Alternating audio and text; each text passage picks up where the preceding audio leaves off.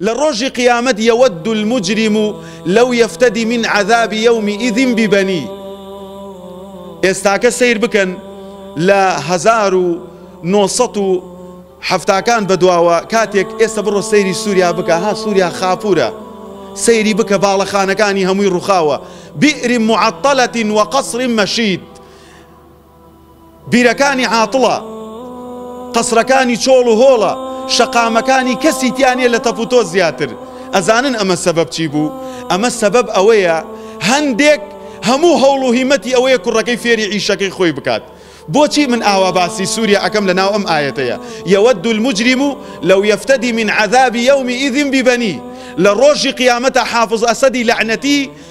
بەشار ئەسەدی کوڕی خۆی ئەخاتە پێش خۆی ئەڵێ خوایە ئەمە بکەرە جەهەنم و بەس خۆم مەخەرە دۆزەخ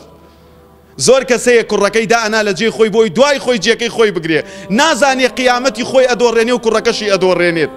حافز ئەسەد کە کوڕەکەی خۆی دانە دکتۆری چاو بوو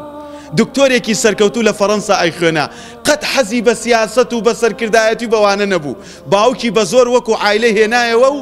بە شەقیش خستێ سەر ئەو پۆستە ئێستاکە یەک ملیۆن مسلمانی سووریا بە دەستی ئەو خوێنی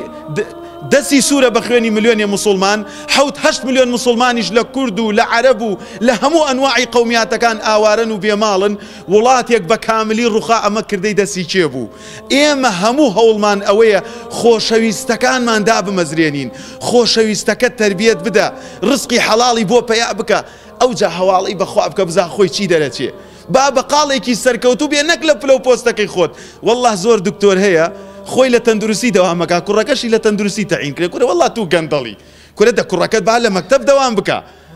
خۆی پۆلیسە کوڕەکەشی ئەنێ بۆ مەرکەز خۆی مەسولە کوڕەکەشی لە دوای خۆی دانە بابە کوڕەکەت پێ ئەچێ لە شوێنێکی ترا زۆر سەرکەوتوتر بێ زۆر ئاقڵتر بێ زۆر وشیارتر بێ باشە ئەگەر